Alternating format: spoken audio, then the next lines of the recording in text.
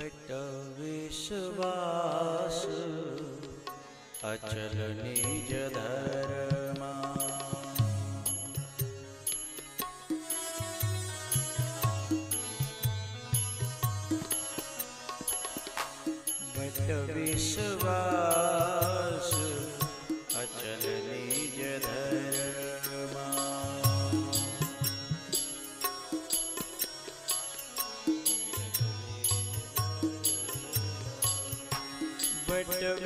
विश्वास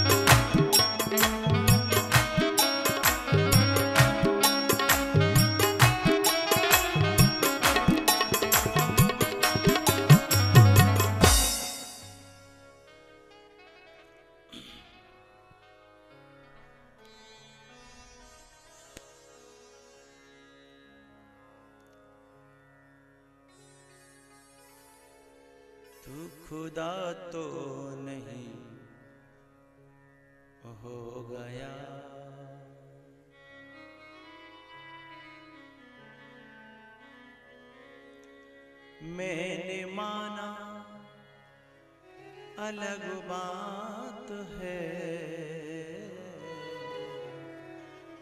मैंने पूजा, अलग बात है। तू खुदा तो नहीं हो गया। पार्वती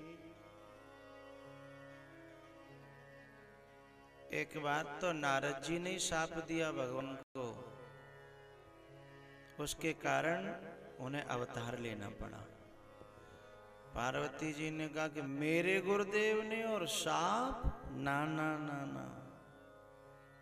मेरे गुरुदेव तो साप कभी दे ही नहीं सकते। बोले, क्यों? नारद विष्णु, भगत पुनि ज्ञान। पार्वती जी ने कहा, यदि मेरे गुरुदेव ने साफ़ दिया भी होगा तो कोई न कोई भगवान ने अपराध किया होगा। भगवान ने अपराध किया होगा। का अपराध रमापति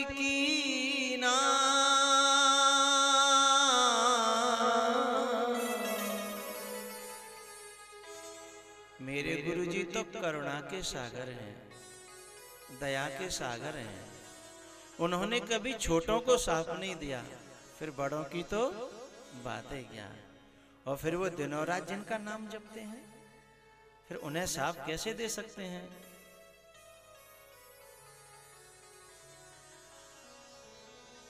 पार्वती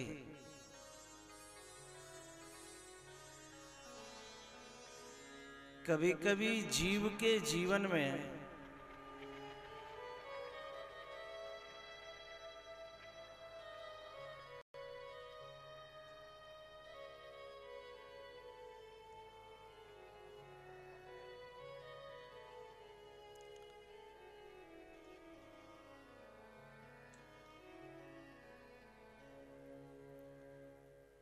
कभी कभी जीव के जीवन में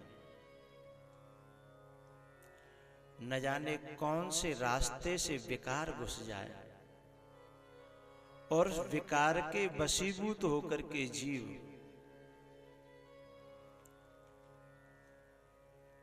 न जाने क्या कर बैठे।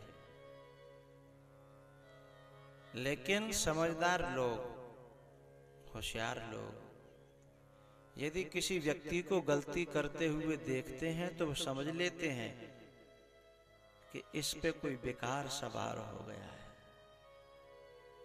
जीव तो परमात्मा का अंश है। ईश्वर अंश। लेकिन जीव पर जब बेकार सवार होता है तो बेकार के बशीभूत होकर के जीव गलतियाँ करता है। लेकिन अंतर है। इंसान में और शैतान में। जीव गलती करने के बाद उसे समझता है और गलती को महसूस करता है और क्षमायाचना करता है। तो वह जीव से देवता बन जाता है। देवताओं पे गलती हुई तो स्वीकार करते हैं। लेकिन जो असुर होते हैं, जो राक्षस होते हैं, गलती करने के बाद गलती को गलती नहीं मानते। गलती को और अपनी ताकत मानते हैं। अपना आभूषण मानते हैं। बहुत से लोग अपने रोग को रोग समझते हैं तो वैद्य के पास जाएँगे तो वैद्य की मदद करेंगे। क्या आप कहोगे, मैं वही परहेज करूँगा? आप कहोगे, मैं वही दवाई खाऊँगा? लेकिन आप अच्छी सी दवाई दो, मेरे को देखो और मैं आपकी मदद करूँगा। मैं पूरी तरह से आपको समर्पित हूँ। एक डॉक्टर, एक मरीज़ क्या कहेगा? कोई कोई बताएगा ना कि वो आप, आपको जो बीमारी है ना, वो फलाना डॉक्टर बड़ा स्पेशलिस्ट है, आप वहाँ जाइए। अरे, हमारी मर्ज की अच्छी अच्छी दवाई नहीं कर पाए। हमारी मर्ज ऐसी, अच्छे अच्छे अच्छे ने देखा, दिल्ली तक डोल आया हूँ। हम बम्बई डोल आए। भाई, मर्ज कोई घमंड है कि हमारी मर्ज ही इतनी तगड़ी है? तो जी, मर्ज अहंकार करने योग्य थोड़ी है। ये मर्ज, उसे भी अपना आभूषण मान ला। अच्छे अच्छे नहीं पकड़ पाए हमारी मर्ज। हाँ। ऐसे टुच्चे मुच्चे हैं ये ये ये क्या करेंगे? तो जब कोई बीमारी कोई अपना आभूषण बना लेता है तो फिर कोई वैद्य काम नहीं कर पाता। और जब कोई अपनी बीमारी को निकालना चाहता है तो हर डॉक्टर शायद इनकी समझ में नहीं आई तो उनके आ जाए या उनके आ जाए। वो स्वयं अपने आप मदद करता है, उसका अहंकार नहीं करता। वह इंसान होता है और वह उसके जीवन से मर्ज वो बीमारी निकल जाती है। पार्वती, मैं ये नहीं कह रहा कि तुम्हारे गुरुदेव बेकार हैं या खराब हैं, ना ना ना।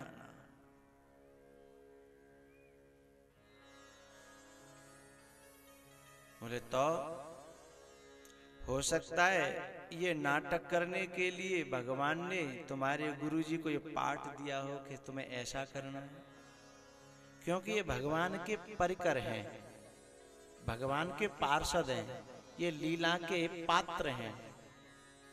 तो भगवान ने सोचा कि संसार को शिक्षा देने के लिए तुम ऐसा करोगे, फिर तुम्हारे साथ ऐसा होगा तो दुनिया समझ जाएगी। दुनिया समझ जाएगी।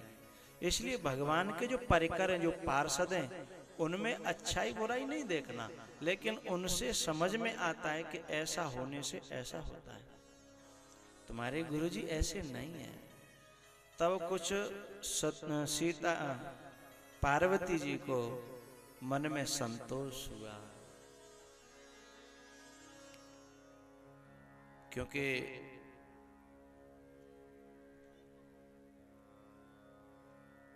पहले सती जी भुक्त भोगी हैं और अब वो ऐसा कोई शब्द सुनना नहीं चाहती, जिससे गुरुदेव के चरणों में थोड़ी सी भी निष्ठा कमज़ोर हो। खत्म होना तो दूर की बात, कमज़ोर हो।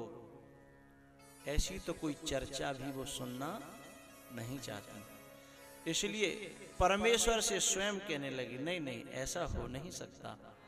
और ऐसा हुआ भी हो तो आप इस कथा को यहीं स्टॉपिश बंद करो। दूसरी कथा सुनाओ क्योंकि कथा श्रद्धा को और विश्वास को बढ़ाती भी है और कथा श्रद्धा विश्वास को तोड़ती भी है। ये कथावाचक के ऊपर निर्भर करता है। यदि मंथरा कथा कहे तो केकई और राम के प्रति बीच में जो विश्वास है और जो श्रद्धा है उसको तोड़ करके चकना चूर कर देती है मन धरा। कथा कहती है और ऐसी पुरानी कथाएँ सतयुग की।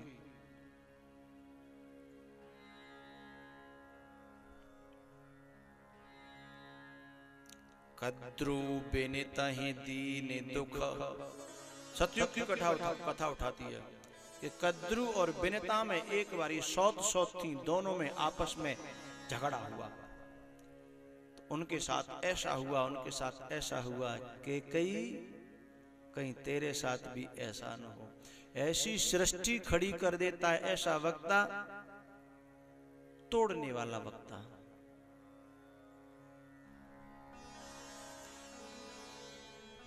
मंथरा ने केकई को राम से दूर कर दिया। ऐसी कथा सुनाई। और एक हनुमान जी हैं, जो सीता और राम दूर हो गए थे, हैं, ऐसी कथा सुनाई, ऐसी कथा सुनाई कि रा, सीता जी को राम से मिला दिया और राम को सीता जी से मिला दिया। वक्ता, श्रद्धा और विश्वास को जोड़े। ऐसे वक्ता का ही श्रवण करना चाहिए। तोड़े तो नहीं। हनुमान भी कथा और मंथरा भी कथा कहती है।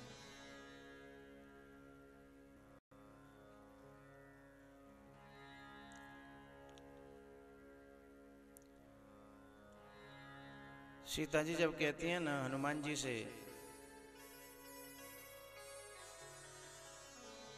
कि हनुमान, मुझे भगवान ने क्यों भुला दिया? मुझसे मुझसे उन्हें क्यों शिकायत हो गई? कोई गलती हो गई क्या? कितनी अच्छी बात कहते हैं हनुमान जी। तुम ते प्रेम राम के दूना। उधर मंथरा क्या कहती है? कि यदि दशरथ जी को तुमसे प्रेम होता राम को तुमसे प्रेम होता के कैसे कह रही है? यदि दशरथ जी को प्रेम होता राम से प्रेम राम को तुमसे प्रेम होता कौशल्या को तुमसे प्रेम होता तो ये उत्सव जो मन रहा है राम के राज तिलक का तुम्हें पूछी तक नहीं। तुम्हें बताई तक नहीं। और तुम्हें पता भी है कब से हो रहा है ये उत्सव पंद्रह दिन हो गए?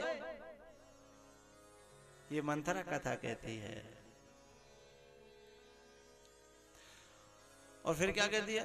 देखो, वैसे हमें कुछ लेना देना ना, हमें तो कुछ मिलना नहीं, हम तो दासी की दासी रहेंगी। हम तो तुम्हारे भले के मार सो, हम तो सोचते तुम्हें कहीं दुख नहीं हो हैं? हम तो हमें तो जी दिक्कत है, हम हम पे तुम्हारा दुख दे क्यों नहीं जाता, है? नहीं, हमें तो कोई दिक्कत नहीं, हमें तो चेरी के चेरी रहना, हम तो कोई रानी हो नहीं जाएँगे।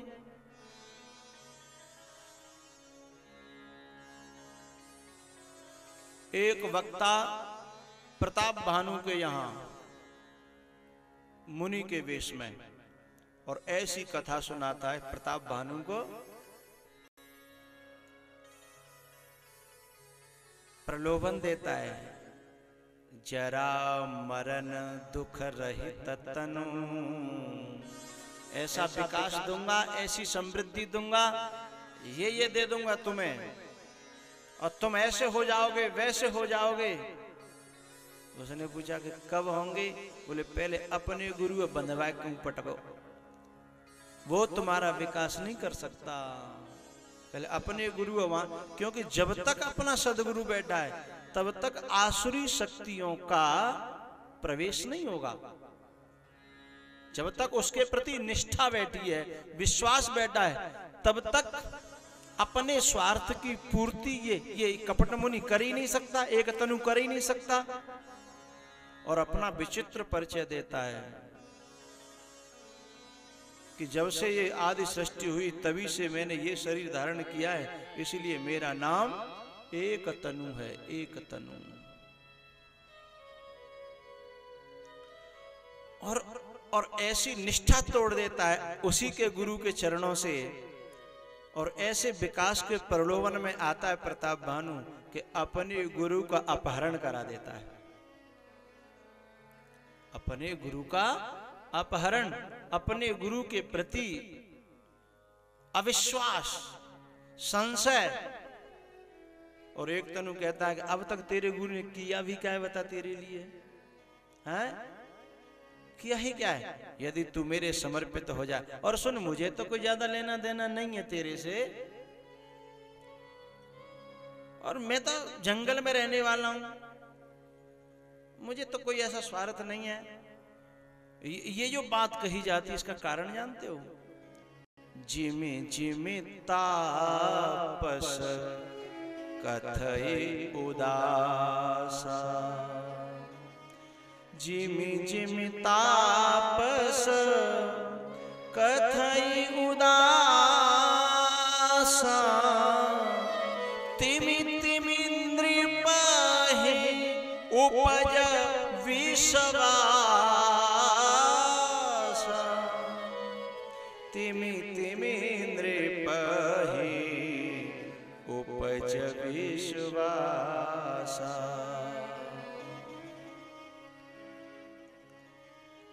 और जैसे ही प्रताप भानु ये देखता है कि इस तपस्वी की मेरे पे कितनी प्रीति है।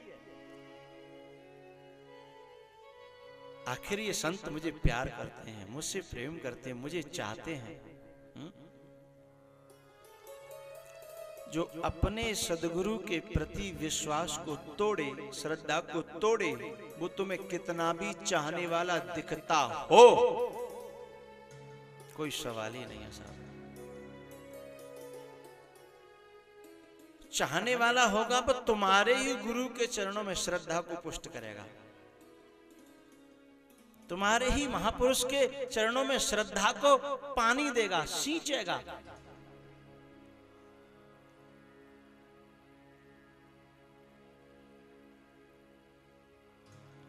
और जैसे ही प्रताप भानु को लगता है कि आप तो मुझे बहुत चाहते हो, ऐसा क्यों?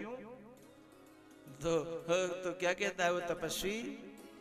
कि तुम्हारे स्वभाव को देखकर, तुम्हारे नेचर को देख करके और एक बात गजब की कहता है, लेकिन प्रताप भानु प्रेम में उसके विकास का जो प्रलोभन है और उससे मिलने वाला जो स्वार्थी, जो प्रेम है, उसमें ऐसा पागल हो जाता कि समझ नहीं पाता।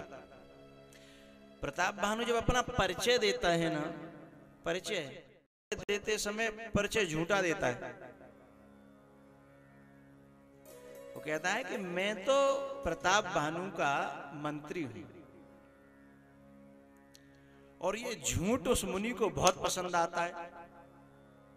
ये झूठ, लेकिन लेकिन प्रताप भानु को ये समझ में नहीं आता कि जिसको झूठ इतना पसंद आ रहा है, जिसको गलती इतनी पसंद आ रही है तो ये आदमी सच्चा हो कैसे सकता है?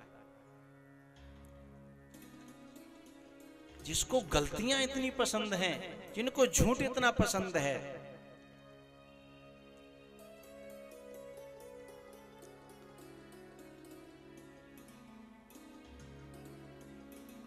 तो जो नका, बात चल रही है, सकारात्मक विश्वास और नकारात्मक विश्वास।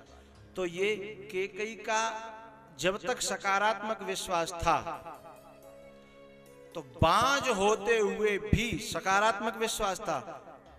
बाज होते हुए भी के कई पुत्रवती हुई। चौथे पन में जाकर के, बुढ़ापे में जाकर के विश्वास टूटा नहीं था। सकारात्मक विश्वास था। लेकिन जैसे ही नकारात्मक विश्वास शुरू हुआ तो प्राप्त हुआ परमात्मा भी जीवन से चला गया और कलंक प्राप्त हो गया, कालिमा प्राप्त हो गई।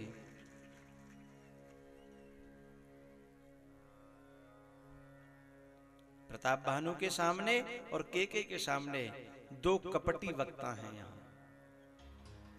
वक्ता के रूप में जो जो श्रद्धा को तोड़े, जो विश्वास को तोड़े, जो जो अंदर की भावनाओं को तोड़े, लेकिन इन वक्ताओं की खासियत होती है उसे तोड़ने के बाद अपने कुछ प्रलोभन। ऐसा विकास ऐसा विकास, ऐसी समृद्धि।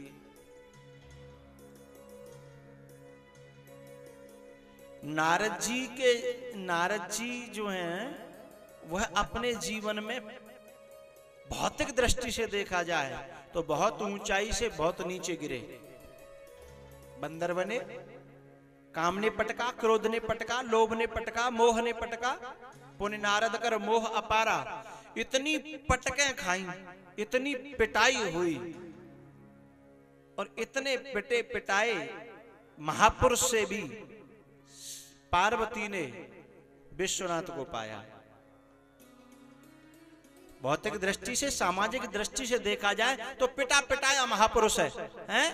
लेकिन हमारी निष्ठा यदि बिल्कुल पक्की है विश्वास पॉजिटिव है सकारात्मक है, है? तो हमारी निष्ठा विश्व विश्वनाथ को मिला देगी। महापुरुष तो पहले भी ऐसा ही था बाद में वैसा होगा। बीच में कोई घटना आ गई तो आ गई न जाने कौन के जीवन में नहीं आती है साहब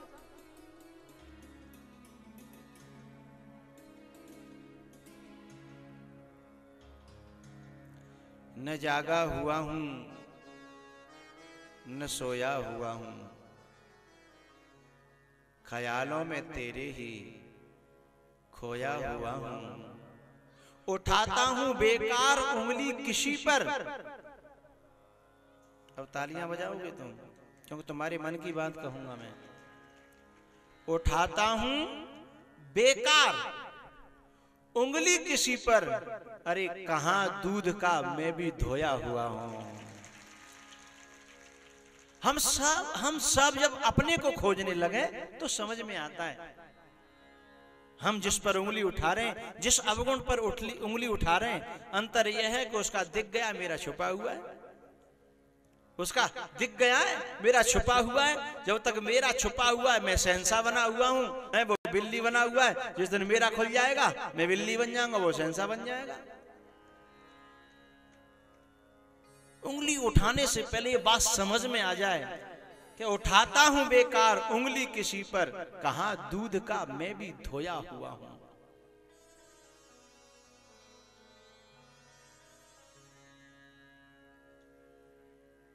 श्रद्धा को जोड़े, विश्वास को जोड़े, वह वक्ता, वह महापुरुष, वह सज्जन, वह संबंधी आदर करने के योग्य है, सेवा करने के योग्य है, संग करने के योग्य है, अपनाने के योग्य है।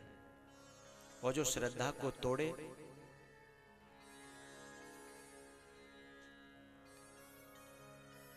श्रद्धा को तोड़ने वाला अपनी कोशिश करे, हिम्मत हो तो उसी को तोड़ दो, और उसे न तोड़ सको तो उसके संबंध को तोड़ दो तो बच जाओगे आगे वाले संबंध, आगे विकास के मार्ग में चले जाओगे। हरिहर निंदा सुन जो काना।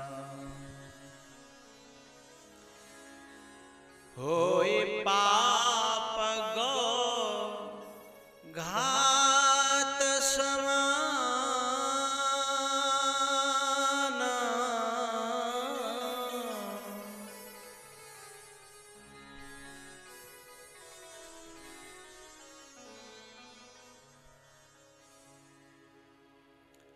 कोई नकारात्मक नकारात्मक व्यक्ति दिखे और वो चर्चा चलाए और तुम्हें उस चर्चा से बचना हो तो प्रसंग बदल देना।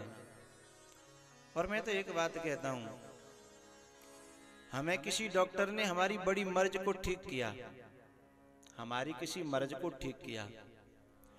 और उस डॉक्टर पर हमें बड़ा विश्वास है, हम उस वैद्य के बड़े फ़ैन हैं, ठीक है? तो उस वैद्य के गुणगान मत गाते फिरो, क्योंकि तुम ठीक कर दिए हो, ज़रूरी नहीं कि वो सबको ठीक कर दे। ज़रूरी नहीं है, क्योंकि हर व्यक्ति की तासीर अलग है। हर व्यक्ति का प्रकृति, शरीर का नेचर अलग है। तुम ठीक कर दियो, तुम्हें कभी परेशानी हो तो चुपचाप दवाई ले आओ, अपना काम करो। बहुत से लोग तो अपने डॉक्टर के पीछे लड़ बैठते हैं। मेरा डॉक्टर यूँ, मेरा डॉक्टर यूँ अरे, बहुत से तो विचित्र लोग होते मैं क्या बताऊँ। सदगुरुओं के संग तो एक एक और बात होती है। सदगुरु भी डॉक्टर है वैद्य है लेकिन एक दिक्कत होती है क्या? सदगुरु की दवाई जो होती है उसे तो लोग खाते ही नहीं है। सदगुरु ने कोई शब्द दिया कोई आ, साधना दी नहीं।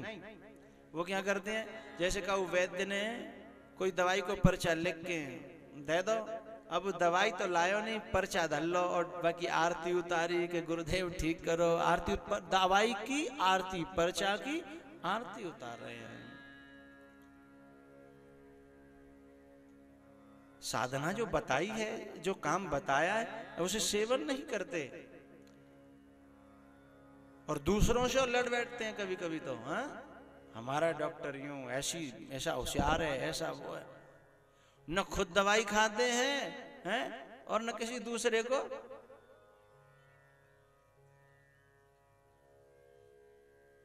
वे गुरुओं के शिष्य नहीं होते, वे गुरुओं के दुश्मन होते हैं। जोग जुगुत तप मंत्र प्रभाव और फलें तबई जब करिए दुराऊ। लेकिन मैं इसमें एक बात और जोड़ रहा हूँ। जो महापुरुष आपको साधना दे, आपको मंत्र दे, आपको ज्ञान दे, आपके विकारों की उसे चिंता हो मिटाने की। तो वो महापुरुष एक बात और कहेगा तुमसे कि तुम मेरी बताई हुई साधना कर रहे हो ना? बोले हाँ। उसे गुप्त रख रहे हो ना? बोले हाँ। तो मैं एक बात और कहूँगा। कि जैसे साधना को गुप्त रखते हो, ऐसे हो सके तो गुरु को भी गुप्त ही रखना। बहुत ज़्यादा फ़ायदा होगा। गुरु को ज़्यादा गाने की ज़रूरत नहीं है। क्योंकि गुरु को तुम जितना ज़्यादा गाओगे तो जो नकारात्मक तत्व हैं, उतने ही तुम्हारे दुश्मन हो जाएँगे। उसे गाने की ज़रूरत नहीं है। नारद जी कभी नहीं कहते कि मैं राम का सेवक हूँ। वो तो कंस के यहाँ जाते हैं। कंस के कंस के यहाँ भी जाते हैं, रावण के यहाँ भी जाते हैं, राम के यहाँ भी जाते हैं कृष्ण के यहाँ भी जाते हैं। यदि वो स्पेशल व्यक्तिगत राम के हो जाएँ तो रावण के दुश्मन हो जाएँगे। व्यक्तिगत राम के बन जाएँ तो कंस के दुश्मन हो जाएँगे, कृष्ण के बन जाएँ तो। व्यक्तिगत ओपन में जब नारद जी हैं तो भगवान के ही पक्के, इसमें तो कोई शक नहीं है। लेकिन वो गाते नहीं है कि मैं तो राम का पक्ष धरू, मैं कृष्ण का पक्ष धरू, मैं रावण का दुश्मन हूँ। ना। वो सबके हितैषी हैं। और महापुरुष सबका हितैषी होता है। हर सज्जन सबका हित तुम भी सबका भला चाहते हो। रोड पर कोई आदमी बहुत बुरी तरह पिट रहा हो। तुम सबसे मैं पूछ लूँ क्या उस पुटते पिटते हुए आदमी को तुम देख पाओगे? बोलो बोलो। नहीं देख पाओगे। जितनी अपनी सामर्थ्य होगी कोशिश करोगे भैया जाए कोई बचाओ। ए, अरे भैया जाए कोई बचाओ। और ताकत होगी तुम खुद बचाए। तुम सबके हितैषी हो लेकिन समझ नहीं पाते उस बात को। सबका हितैषी है वही तो संत है चाहे वो पैंट शर्ट में हो चाहे कुर्ता पजामा में चाहे दाढ़ी मूछ में चाहे सब मुड़ा के वही तो संत है। जो सबके प्रति हित की भावना रखता है, जो सबको सुखी देखना चाहता है, वही तो संत है।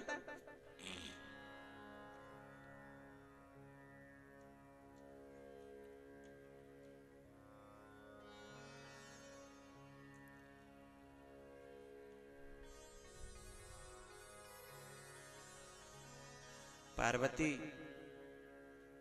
तुम्हारे जो गुरुजी है ना वो बहुत अच्छे हैं। वो भगवान को कभी साप नहीं दे सकते, ये मैं भी जानता हूँ। लेकिन किन्हीं कारणों से एक बार ऐसा हुआ, एक लीला करी उन्होंने, एक नाटक किया, दुनिया को समझाने के लिए। तब कुछ पार्वती को संतोष हुआ।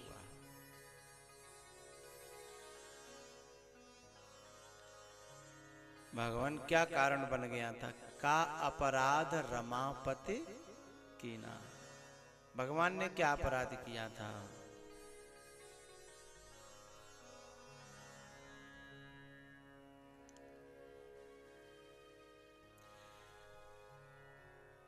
अपने गुरुदेव में जो श्रद्धा और विश्वास है, उनको, उनकी कोई जड़ हला दे, जड़ हिला दे। कोई एक आध टहनी काट दे तो कोई दिक्कत नहीं, बट विश्वास, अचल निज धर्म फूट आएगा। कोई बड़ी बड़ी शाखाओं को काट दे तो भी फूट जाएगा कोई आदि पीड़ को काट दे तो भी फूट आएगा। लेकिन उनसे ज़्यादा सावधान रहना जो जड़ों को हिलाते हैं। जो जड़ों को हिलाते हैं, उनसे सावधान रहना। क्योंकि जड़ हिल जाती है ना। और मैं एक बात कहूँगा।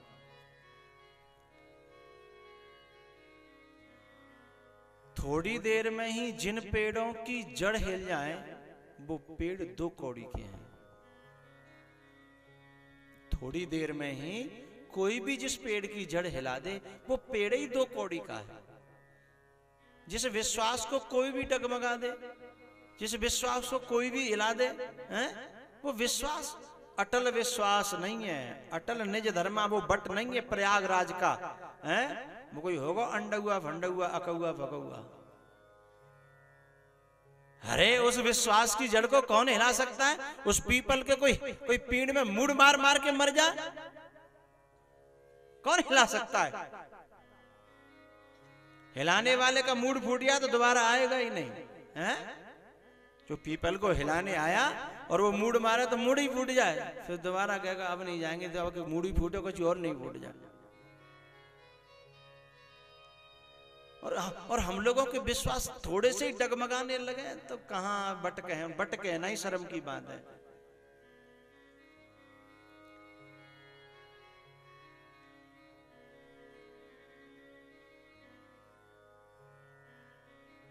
एक पीपल के वृक्ष को उखाड़ने के लिए चार आदमियों को कम से कम दस दिन लगेंगे फावड़ेश्वर कुदाली से।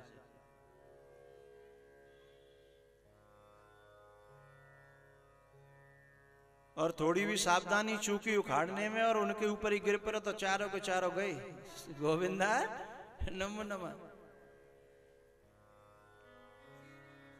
तो जिनका विश्वास डोल जाए, वो दो कौड़ी का है। विश्वास नाम ही उसका है, जिसे कोई हिला न सके, जिसे कोई डिगा न सके।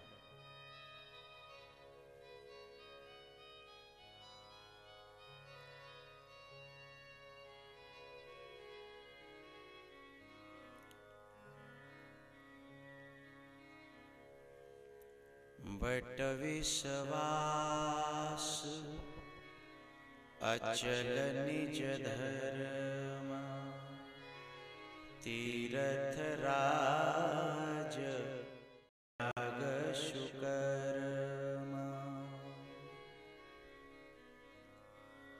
पार्वती, एक बार नारद जी ने तुम्हारे गुरुजी ने बहुत तगड़ी साधना करी।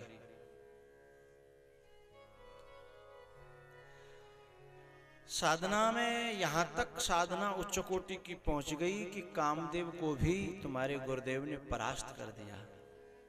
अच्छा? बोले हाँ। लेकिन एक बात ध्यान रखना, बीमारी को ठीक करने वाली प्रत्येक एलोपैथी दवाई के पीछे एक साइड इफ़ेक्ट होता है। नहीं समझ में आई? बीमारी को ठीक करने वाली प्रत्येक एलोपैथी की जो दवाई है, एलोपैथिक जो दवाई है, उसके पीछे एक साइड इफ़ेक्ट छुपा रहता है।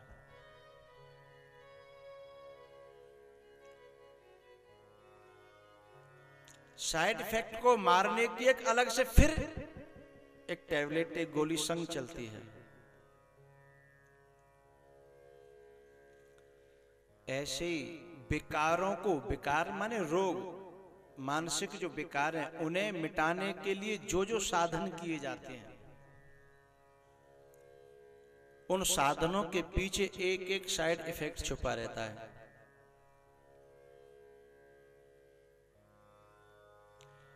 उस साइड इफ़ेक्ट को मारने के लिए सदगुरु के सानिध्य का, सदगुरु की सेवा का बहुत अनुपान ज़रूरी है।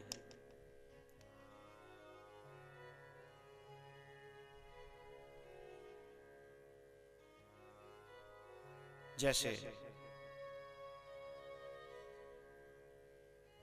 विकारों को नष्ट करने के लिए सदगुरु की सेवा है।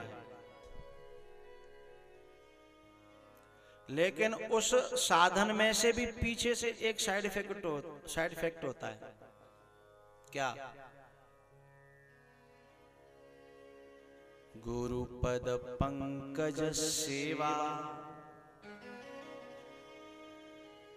लेकिन इस सेवा को करोगे तो पीछे से एक साइड इफ़ेक्ट होगा।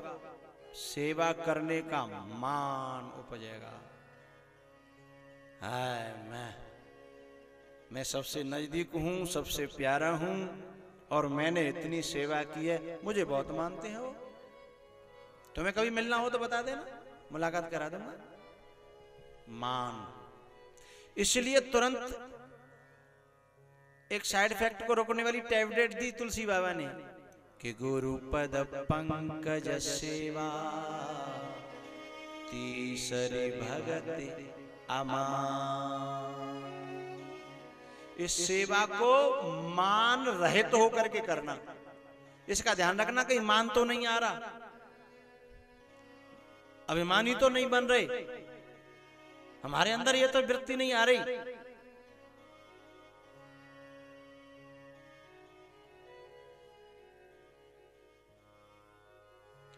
चौथी भगति मम गुणगन विकारों को मिटाने का साधन है भगवान की कथा का गान करना। लेकिन पीछे से उपज पड़ता है एक और साइड इफ़ेक्ट।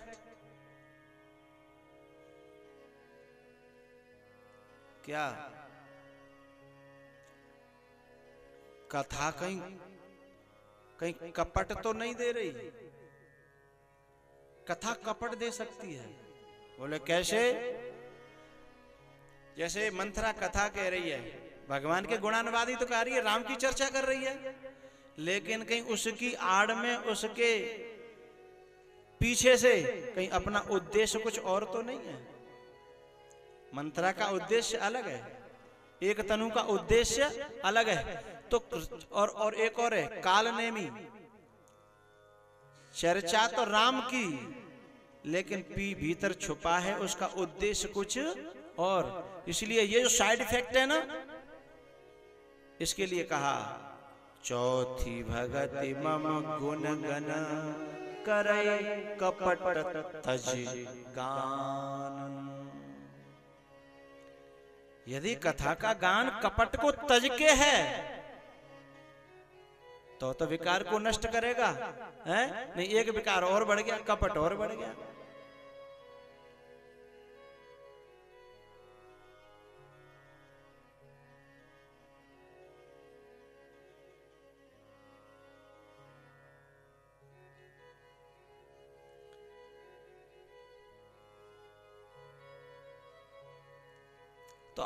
हर एक साधन के पीछे एक एक विकार विकार पनपने लगता है।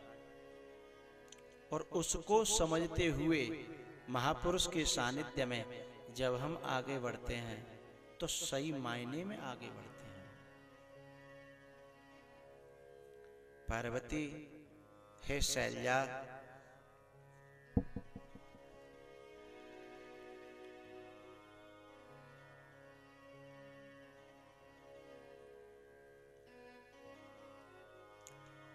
बहुत अच्छी साधना की थी तुम्हारे गुरुदेव ने। लेकिन पता है क्या हुआ? बोले हाँ एक दिक्कत हो गई।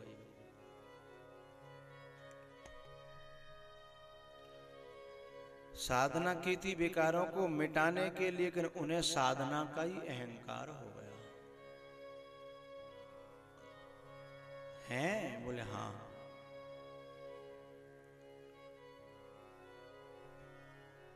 बोले, कैसे पता लगा कि अहंकार हो गया? अहंकारी व्यक्ति है ना, उससे कोई अच्छा काम आ जाए तो जब तक दस बीस लोगों में शेयर नहीं कर लेता, तब तक उसे चैन पड़ता ही नहीं है। मैंने कुछ अच्छा काम किया, लोगों ने जाना ही नहीं तो अच्छा करने का फ़ायदा ही क्या हुआ? वो सामाजिक फ़ायदा बहुत चाहता कभी कभी ये कथाएँ वैसी होती है ना, चंदा के लिए या कुछ इकट्ठा करने के लिए। तो नाम बोलता है तो देने वालों की लाइन लग जाती है। और नाम न बोले बोल नाम ही नहीं बोलो तो हम कहा दे हम कहा, हम तो गए आते और नाम ही नहीं बोल रहे तो हम तो फिर लौट आए। ले गए दस हज़ार रुपया जेब में पर लौट आए, फिर कहा करते नाम ही नहीं बोल। रहे फ़ायदा का होगा छू नहीं? हा? और नाम बोल रहे थे ना तो हम लेके तो वैसे दो हज़ार ही गए देवे के लिए, पर नाम बोल रहे फिर हमें पाँच हज़ार देने पड़े। कहा करें अब? नाम बोल रहे देना मन तो नहीं हो पर अब नाम बोल लो, पाँच, चार हज़ार, दो हज़ार में तो अच्छे नहीं लग रहे हो तो ना, है? तो फिर हमें पाँच हज़ार देने, इक्यावन सौ की सरसी कटानी पड़ी, नाम बोल लो। सामाजिक अहंकार जो भीतर बैठा रहता है, वो समाज में रिस्पॉन्स चाहता है। और सामाजिक रिस्पांस मिले, न मिले, ऐसी वृत्ति आ जाए तो फिर कोई साधन अहंकार नहीं दे पाएगा। एक बार तुलसीदास जी को उस समय अकबर का राज्य था, फतेहपुर सीकरी आगरा के पास में। तो बड़ी चर्चा थी तुलसीदास जी की, बहुत उच्च कोटि के संत हैं और बहुत अच्छे हैं। तो उसने जाके, एक खबर भेजी कि एक बार हमारे दरबार में तुलसीदास आए, हम उनका स्वागत करेंगे, सम्मान करेंगे। तुलसीदास जी ने एक चिट्ठी लिख के भेज दी, खुद तो गए ही नहीं।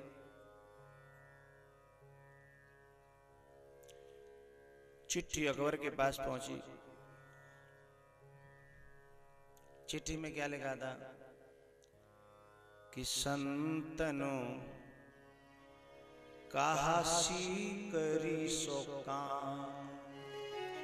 संतनो काशी करी सो काम। संतनो कहासी करी सो काम। संतन कहासी करी सो काम। मैं राजा महाराजों से कुछ चाह, चाहता तो हूँ नहीं फिर मैं क्यों जाऊँ? उसे ज़रूरत हो तो कभी मेरी कुटिया पर वो आ जाए। और मुझे तो वहाँ जाने में नुकसान ही नुकसान है। क्या नुकसान है? आवत जात पन्हैया टूटे।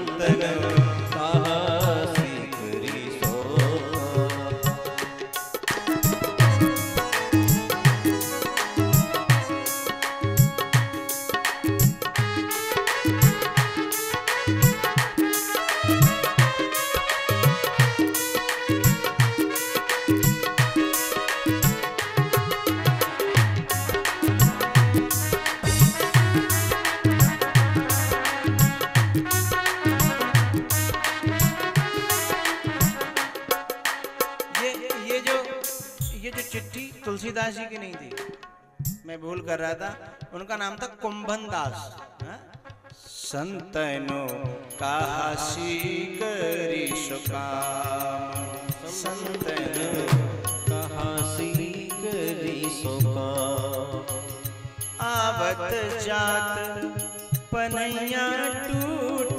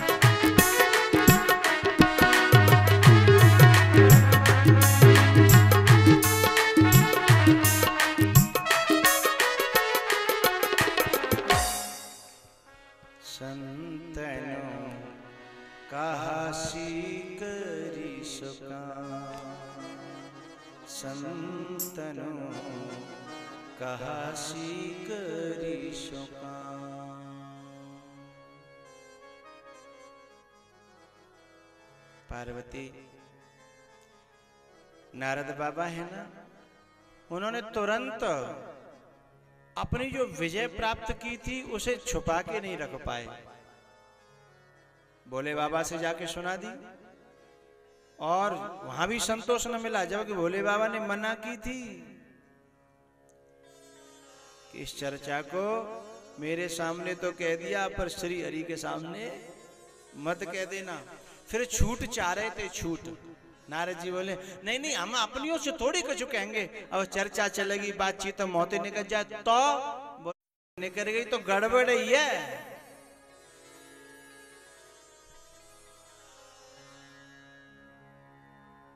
लेकिन भैया, एक बात तो सब समझ लें हम लोग।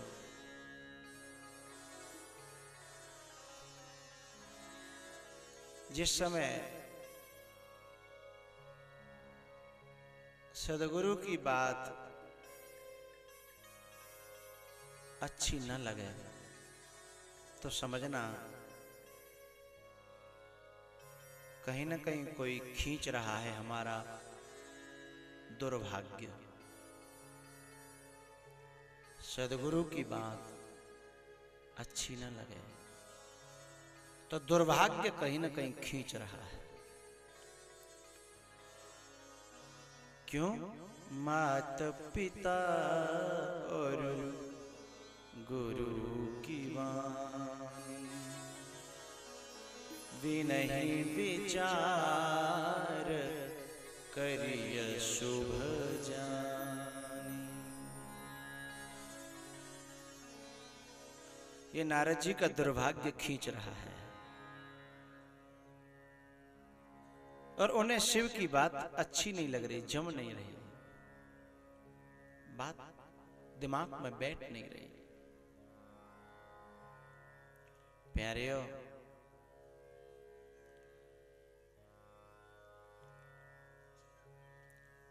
भट्टा पे जो ईंट छपती है ना ईंट, उसका एक सांचा होता है। हर भट्टा का सांचा अलग अलग होता है।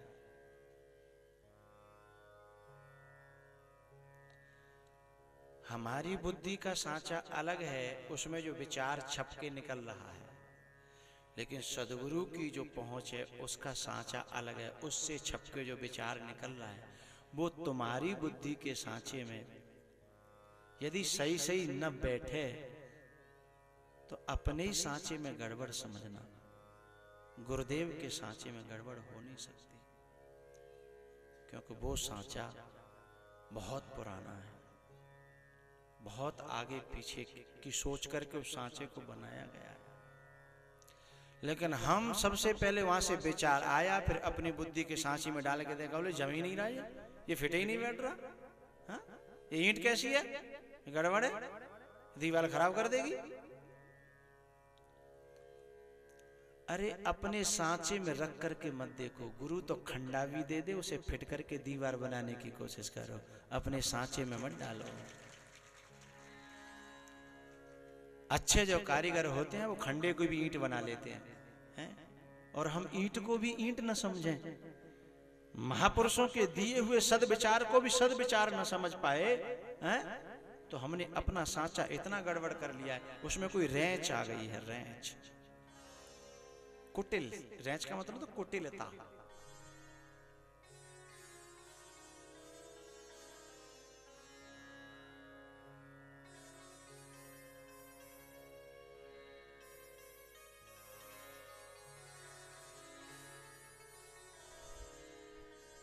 पार्वती, तुम्हारे गुरुदेव सीधे भगवान के पास में गए। अब यहाँ नारद जी किसकी खोज में है पता? है क्यों भटक रहे हैं ये? साधना करी तो साधना में आनंद आ रहा तो करते रहते। साधना करने के बाद ये भटक क्यों रहे हैं?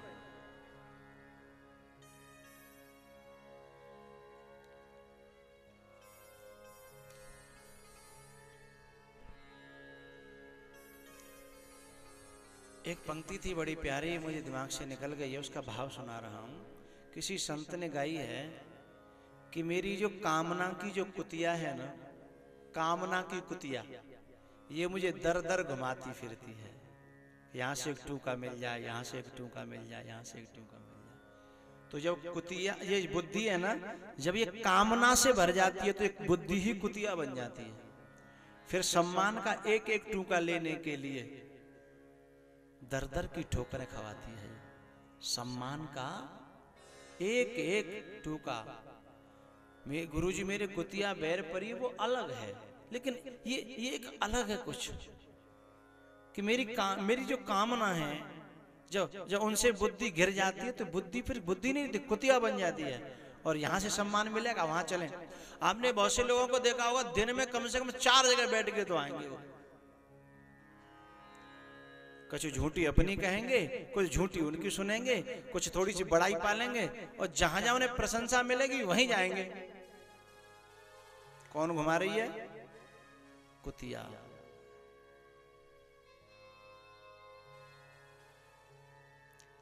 ये नारद जी को इतना आनंद आ रहा था साधना में, फिर ये क्यों जा रहे हैं जगह जगह साधना में काफ़ी दिन हो गए और साधना के से निकलने के बाद भी नारद जी काफ़ी दिन तक घर से बाहर नहीं गए। आश्रम में ही रहे। क्यों नहीं गए पता है? एक कारण था। जैसे ही कामदेव को जीता नारद जी ने, और कामदेव जी से कह दिया कि इंद्र से कह देना, मुझे उसके राज्य की ज़रूरत नहीं है। मैं केवल काम विजेता नहीं हूँ, मैं लोभ विजेता भी हूँ। मुझे राज्य की ज़रूरत नहीं है। और कह देना सबसे, ज़रूर ज़रूर कह देना। तो नारद जी ने सोचा कि जब मैं काम विजेता हो गया हूँ तो चारों तरफ़ चर्चा तो फैली गई होगी, हैं? तो अब अब तो लोग मुझे खुद ही बुलाएँगे, हैं? या दर्शन करने मेरे आएँगे। लेकिन जब दिन होगा कोई फटेगा ही नहीं, तब नारद जी बोले आप नहीं चले, अब कोई यहाँ आ भी बारो अपन ही चले। तब वे खुद निकले आश्रम से। इधर लक्ष्मी जी भगवान से कह रही थी श्री हरि से कि, भगवान बहुत दिनों से नारद जी नहीं आए। आपने कोई खबर ही नहीं ली उनकी? हाँ? भगवान ने एक बड़ी प्यारी बात कही। तुम कह रही हो कि खबर नहीं ली। बस अब खबर लेने ही वाला हूँ। और ऐसी खबर लूँगा, ऐसी खबर लूँगा।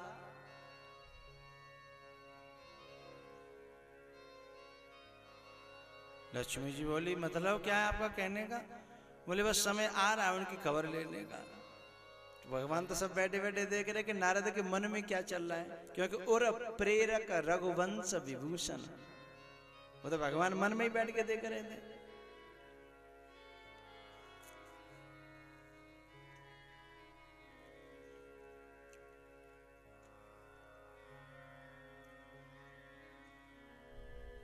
नारद जी और हनुमान। ये दोनों ही भगवान के सेवक हैं। दोनों ही राम गुण गाते हैं। दोनों के हाथ में वीणा रहती है। वीणा नहीं, वो क्या होते हैं? जो भी खटताल हनुमान जी भी और नारद जी भी। दोनों हरि के सेवक हैं, लेकिन दोनों में बड़ा अंतर है। हनुमान जी या तो राम का प्यार चाहते हैं या राम से प्रसन्न प्रसन्न राम की प्रसन्नता चाहते हैं। लेकिन नारद जी राम को भी चाह लेते हैं और कभी कभी काम को भी चाह लेते हैं और कभी कभी नाम को भी चाह लेते हैं। लेकिन हनुमान जी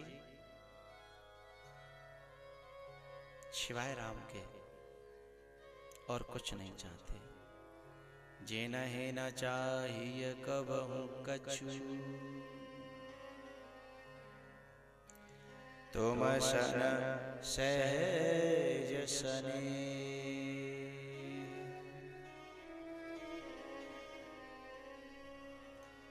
हनुमान जी राम की प्रसन्नता चाहते हैं और नारद जी अपनी प्रशंसा चाहते हैं।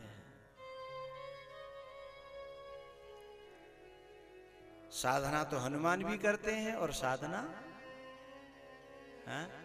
बोला करो भाई, नारद जी भी करते हैं। और आकाश मार्ग में हनुमान जी भी उड़ते हैं और लेकिन नारद जी वैसे ही उड़ता है। लेना एकन देना दो। लेकिन हनुमान जी जब उड़ते हैं तो किसी काम से उड़ते हैं। किसी न किसी और नारद जी वैसे ही। चलो जाना तो वहाँ से ही माना है तो। नारद जी इसी चक्कर में तो बदनाम हो गए। आजकल कोई आदमी इस इधर की बात उधर करे, उधर की इधर करे तो अरे नारद हो, पूरो। हाँ? काम से उड़ते। बहुत से लोग बेकाम के सबके यहाँ डोलता है। फिर लोग कहते हैं, जी तो बिना काम को डोलते ही रहता है काम से। उनके पास तो ये उत्तर भी नहीं होता, जब कोई पूछे, कैसे आए साहब? अरे वैसे ही चले आए। हैं? वैसे ही चले आए।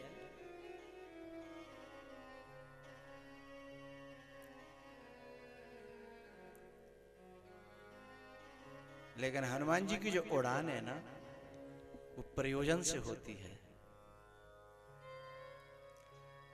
हनुमान जी की जो उड़ान है, वो या तो राम की खोज में है या भक्ति की खोज में है। और विश्वास तो स्वयं हनुमान है ही। हनुमान को विश्वास कहते हैं, पता है तुम्हें? विश्वास कैसे हो जाएँगे हनुमान जी? पता है किसी को?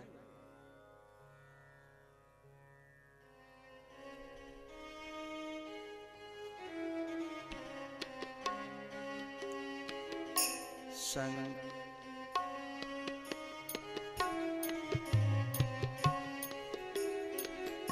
शंकर स्वयं केसरी शंकर स्वयं केसरी नंदन। शंकर सुमन सुमन? किताब में तो सुमन है, लेकिन हम सुमन नहीं कह रहे। हम तो कहेंगे शंकर स्वयं केशरी क्योंकि वे ही तो शिव ही तो हनुमान है। विश्वास हो गए ना? तो स्वयं विश्वास है हनुमान। लेकिन राम की खोज में या भक्ति की खोज में रहता है। और नारद जी राम की नहीं कभी कभी नाम की खोज में चल पड़ते हैं कभी कभी काम की खोज में चल पड़ते हैं। लेकिन हनुमान जी इस रास्ते पर कभी पाँव नहीं रखते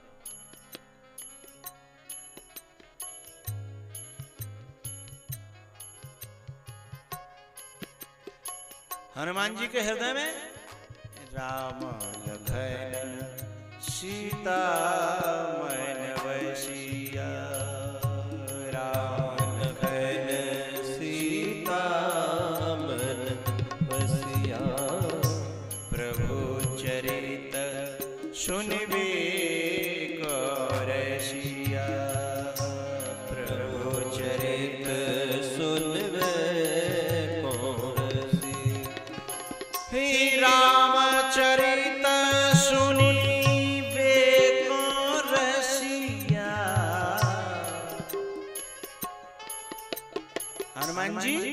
रामचरित सुनते हैं और रामचरित सुनाते हैं। और नारद जी कभी कभी कामचरित सुनते हैं, देखते हैं और कभी कभी कामचरित सुनाते भी हैं। जब शंकर भगवान के पास गए तो शंकर भगवान बड़े खुश हुए कि नारद जी आ रहे हैं राम कथा सुनाएँगे राम कथा लेकिन जैसे मुँह खोला, नारद जी ने, रामचरित तो कोई सौ कोष तक नहीं थे उस दिन तो तो मार चरित मार माने काम। मार माने काम।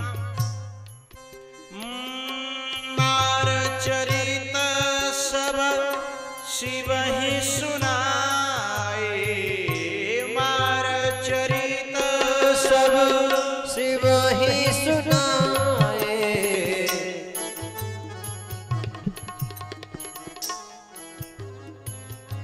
तो जो कभी राम चर्चा कर ले, कभी काम चर्चा कर ले तो न जाने किसका दाव कब लग जाए, हैं? लेकिन हनुमान जी, नहीं।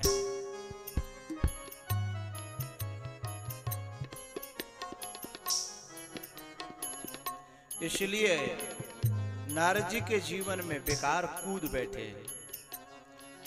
जबकि नारद जी से बड़े बड़े काम तो हनुमान जी ने किए हैं।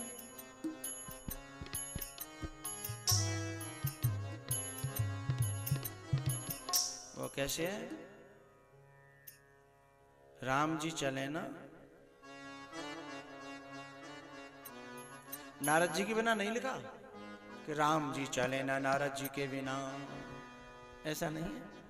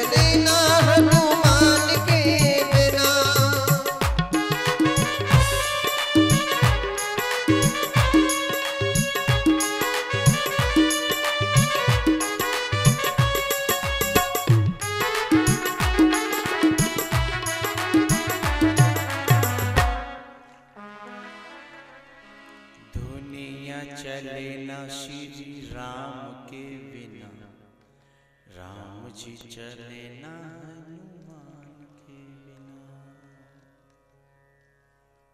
नारद जी के बिना तो राम जी चलते हैं को। क्योंकि ऐसा भक्त तो कोई कोई होता है जिसके बिना भगवान न चले। भैया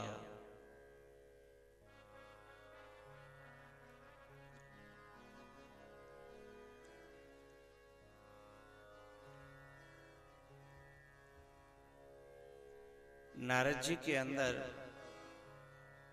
साधना का अहंकार हो जाता है। लेकिन हनुमान जी तो जो करते हैं ना, उनके मुँह पे कोई कहने लगे तो धरती पे गिर जाते हैं, कान पकड़ लेते हैं, राम राम राम राम राम। मैं मैं और सेवा, मैं तो कुछ कर ही नहीं पाता हूँ।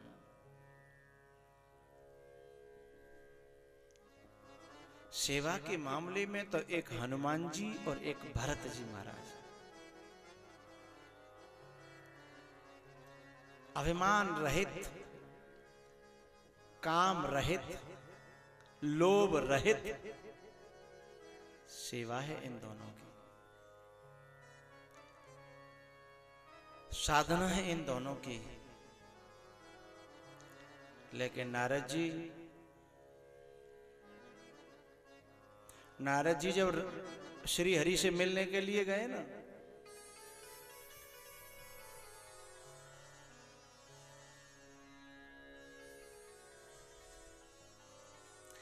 महापुरुष का महापुरुष से सम्मान पाने की इच्छा मत करना। महापुरुष से सम्मान नहीं, महापुरुष का प्यार पाना चाहिए। प्यार पाना अलग बात है और सम्मान पाना अलग बात है। महापुरुष कोई तुमसे तू तड़ाक बोले, हैं? अपनेपन में बोले तो अच्छी बात है। प्यार दे, अच्छी बात है। तुम्हारा सम्मान करे, तुमसे सम्मान पूर्वक बोले, अच्छी बात नहीं है। यदि ऐसा हो तो कभी निवेदन करके कहना। कि आप जब ऐसे बोलते हो ना तो बहुत अच्छा लगता है। आप जब सेवा का मौका देते हो ना तो बहुत अच्छा लगता है। और यदि सम्मान पूर्वक बोली गई बातें अच्छी लगने लगे तो समझना भीतर बुखार आ गया। बीमारी पैदा हो गई। आप लोग जानते होंगे कभी कभी धूप जो है बड़ी मीठी मीठी लगती है गर्मियों में भी। तो अंदर कोई बुखार जब होता है ना, तब धूप जो है बड़ी मीठी मीठी लगती है।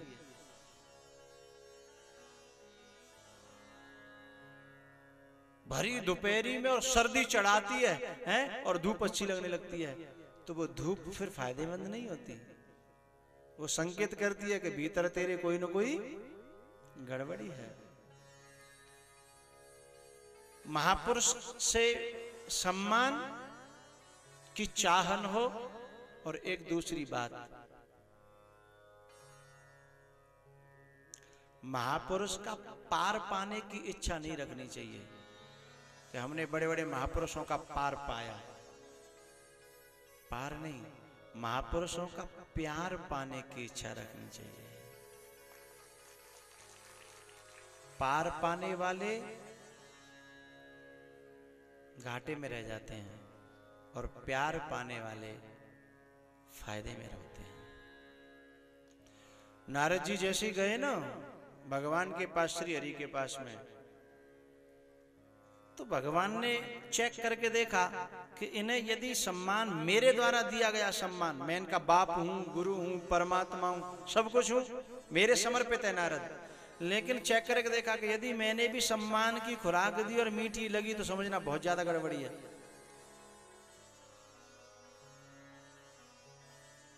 तो जैसे ही नारद जी गए तो श्री हरि ने अपने आसन से खड़े होकर के नारद जी को सम्मान दिया। पहले खड़े नहीं होते थे। अपना गुरु, अपना पिता, अपनी माँ कहीं घर में बैठे कहीं बैठे आप जाओ तो ठीक है। जाके बैठ जाओ प्रणाम करके। वो तुम्हारे लिए खड़े हों और फिर दरवाजे तक आए। ऐसी इच्छा रखना और ऐसे व्यवहार को सहन कर जाना भी अनुचित होगा। अच्छा लग रहा है तो तो बहुत ही गड़बड़ है। दो चार आदमी संग में हैं और फिर गुरुजी उठ के आए तो दो चार आदमी देख और लेते हैं कि देखो, आ रहे हैं ना गुरुजी चल के, हा? समझना बीमारी बहुत तगड़ी पल रही है। तो जैसे ही श्री हरि खड़े होकर के आए, हर से मिले। कोई अच्छी सी राग आ क्या बोलूँ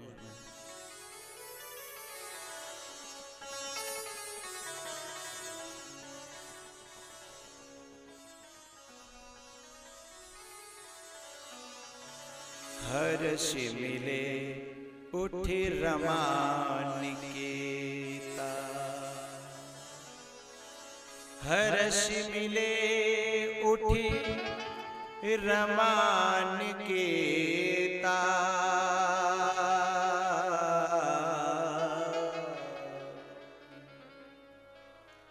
लेकिन नारद जी ने ये नहीं कहा कि आप तो पहले बैठे ही रहते थे, आज क्यों खड़े हो गए? नारद जी को ऐसा लगा कि अब मैं थोड़ा काम विजेता हो गया हूँ ना हाँ? तो अब तो भगवान को भी रिस्पॉन्स तो देना ही पड़ेगा आखिर हाँ? भाई डिग्री तो बड़ी है अपनी पोस्ट तो बड़ी है इसलिए आप भगवान भी मानने लगे हाँ?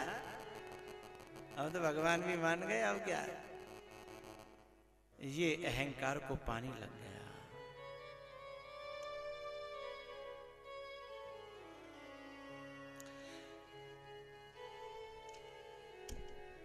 नारद जी काम पर विजय प्राप्त करके आए, भगवान से मिले और हनुमान जी भी मोह पर विजय लंका को जला करके मोह पर विजय पा करके भक्ति की शुद्ध पा करके भक्ति का आशीर्वाद लेकर के आए और राम जी के सामने जैसे ही आए और राम जी ने कहा, सुनो सुत तो ही उऋण में ना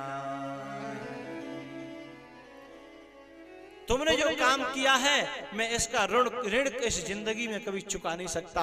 इतने में तो हनुमान जी पावन में गिर पड़े। खड़े नहीं रहे, कहा सो तो साहब जाम का झूठी बात है। लाए हैं तो लाए हैं। थोड़ा बंदर को और बुला लेते भाई देखो देखो क्या कह रहे हैं। समझे? हाँ। नहीं नहीं। हनुमान जी ऐसे गिरे ऐसे गिरे। बार बार प्रभु चहे उठावा बार बार प्रभु चहे उठावा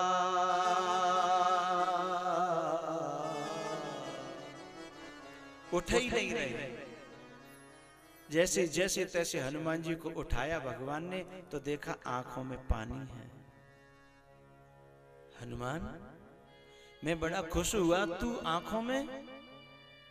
बोले, मुझे ऐसी आशा नहीं थी कि आप मेरा सम्मान करोगे। मैं तो ये आश लेकर के आया था कि आप मुझे गले लगाओगे। तुरंत राम ने हनुमान को गले लगाया, फिर कि तू प्यार पाना चाहता है ना? ले मेरा प्यार। भगवान, कभी भी मुझे सम्मान मत देना। मुझे प्यार देना। मुझे स्नेह देना, मुझे आशीर्वाद देना। मेरे पर अपनी कृपा दृष्टि रखना। और मैंने तो मैं तो एक प्रार्थना और कर रहा हूँ, मेरे अंदर सम्मान पाने की भावना कहीं आ न जाए, इसका ख्याल रखना। ये बात कहीं उपज न पाए।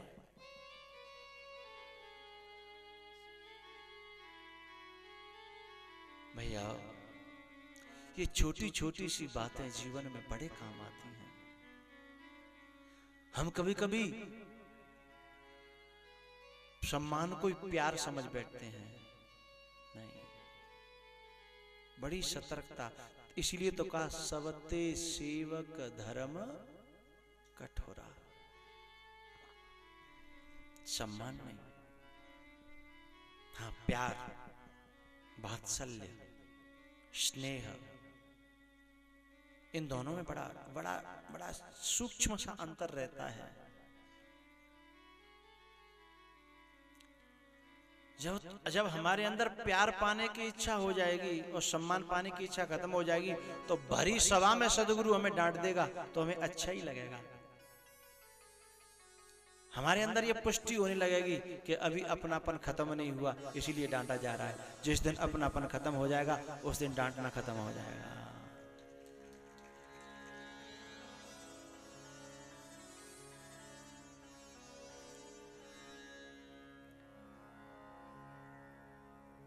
मिले जमाने की सारी खुशियाँ।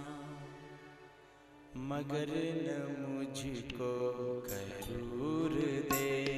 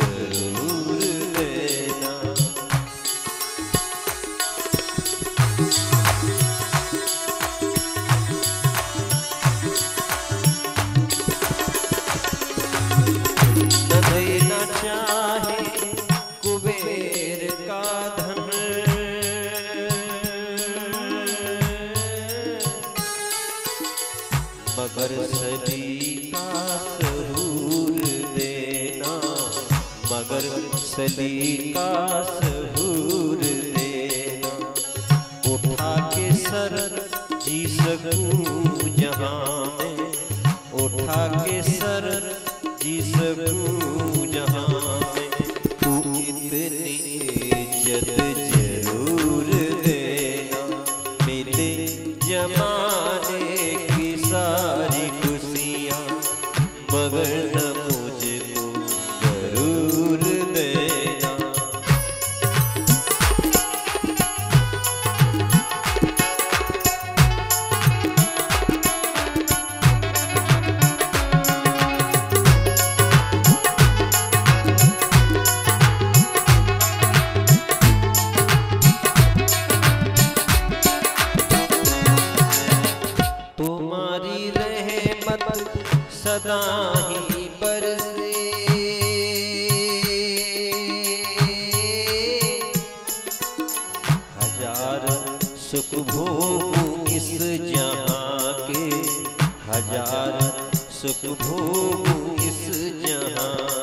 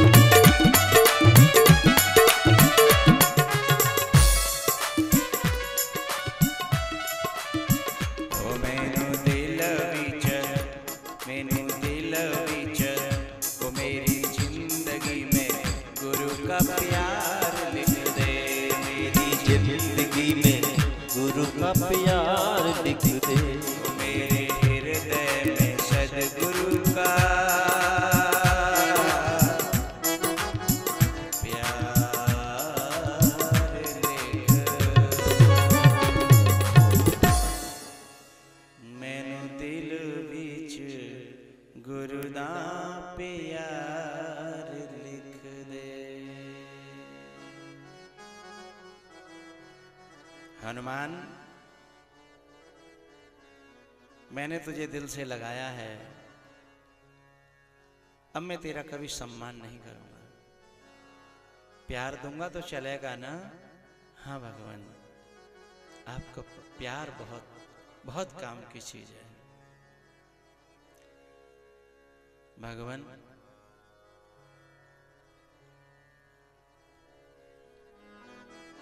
मुझे ऐसे उपाय भी बताना कि आपका प्यार किन किन उपायों से मिलता है? हनुमान, वो सारे उपाय तेरे अंदर ऑलरेडी पहले से मौजूद हैं। मैं क्या बताऊँ? प्यार पाने के जितने साधन हैं, तेरे अंदर सब के सब मौजूद हैं।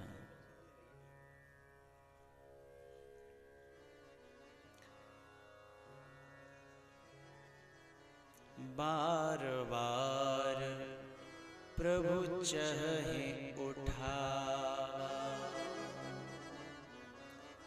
लेकिन हनुमान उठते नहीं है। तब भगवान ने दिल से लगाया।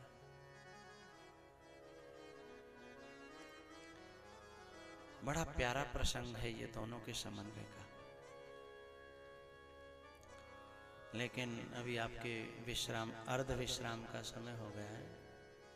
पानी वगैरह पी करके फिर बैठो, फिर प्रसंग को आगे बढ़ाएँगे।